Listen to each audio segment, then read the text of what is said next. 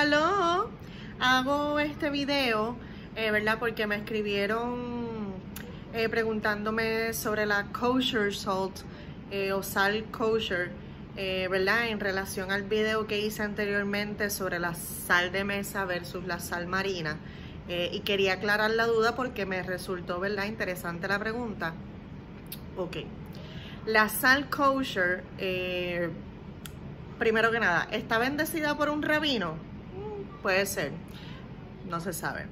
Eh, ahora, la sal kosher se le llama kosher, pero es por su forma cristalina, ¿ok? Eh, porque son como unos pedacitos de cristal, parece unos pedacitos de cristal. Ahora, esta sal, ¿verdad? Yo la considero muchísimo mejor porque no tiene yodo. Entonces, al no tener yodo, eh, ¿verdad? Pues nos hace beneficiosos para la salud. Además, de que nos ayuda a extraer la humedad en las carnes, ¿ok? Eh, y obviamente realza mucho mejor el sabor a las comidas. So, no importa que usted esté haciendo, puede ser en desayunos, en almuerzos, en ensaladas, en huevos, en, en carnes, en pollos, en pescados, en lo que sea, usted puede utilizar eh, la sal kosher. Ahora, un detallito. La sal kosher tiende a utilizarse un poco de más cantidad, ¿ok? Porque acuérdense que no tiene yodo. Eh, para poder, ¿verdad? Realzar más los sabores. Versus que la sal de mesa tiende a utilizarse un poco menos. ¿Por qué? Porque la sal de mesa es un poco más salada.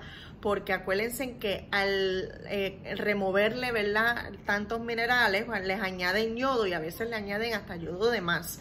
Eh, y aunque el yodo es, ¿verdad?, importante en el cuerpo de nosotros, pero nosotros podemos encontrar yodo en cualquier otras comidas, por ejemplo, eh, comidas marinas, por ejemplo, pescados, este, mariscos, eh, algas, este, podemos encontrar yodo en algunos vegetales como lo que son los, los coles de Bruselas, los brócolis, el coliflor, so que podemos sustituir, ¿verdad?, lo que es el yodo a través de otras comidas y no necesariamente a través de la sal.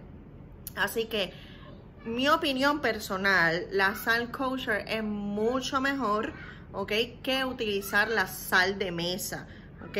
Pero, ¿verdad? Siempre hago la salvedad de que todo debe de consumirse en un eh, modo, ¿verdad? Eh, controlado, no en exceso. Nada en exceso es bueno, gente. Nada en exceso.